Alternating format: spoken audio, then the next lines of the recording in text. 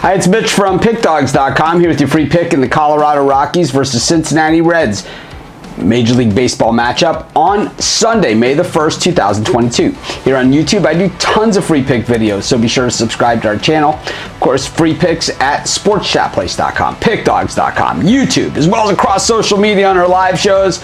Man, when you give out that many free picks, I gotta say there are gonna be some games that you like more than others. To find out which games those are, as well as get best bets from some of the top handicappers in the world, head on over to our website, pickdawgz.com. Click on that premium picks tab. Let's get to this one. We've got the Rockies taking on the Reds. Kyle Freeland, the hometown boy, on the mound here for the Colorado Rockies, up against Reiver Sanmartin, a guy who I think has a super high ceiling. This guy ha- certainly has the skill set. All he's missing is the experience experience. But I think as he gets that experience, he's going to be good. Last time out, what he got was a learning experience, as they call it, getting absolutely shellacked by the Rockies. Three runs, eight hits, uh, three innings eight hits, nine runs. I got ahead of myself. Two home runs. That was at home against the Padres.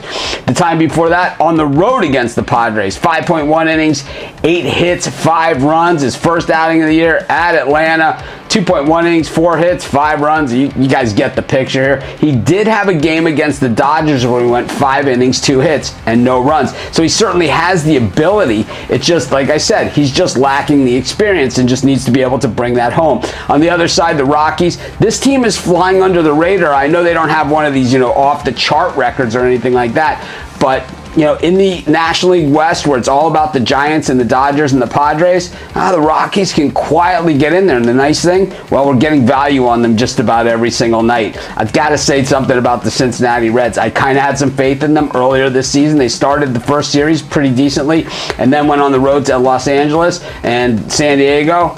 And you know what? Now they're dead to me. I'm taking the Colorado Rockies here, and that's going to be my free pick.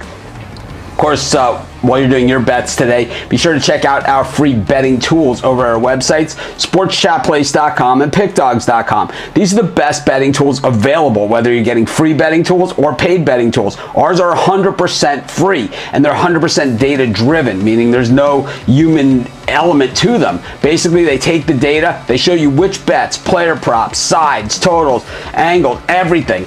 They show you which bets, how often these bets come in, and how much they have been coming in, and then show you the odds on those games. And from there, you can determine whether or not there's value uh, on these bets or, or, or there isn't. So just click on the link in the description.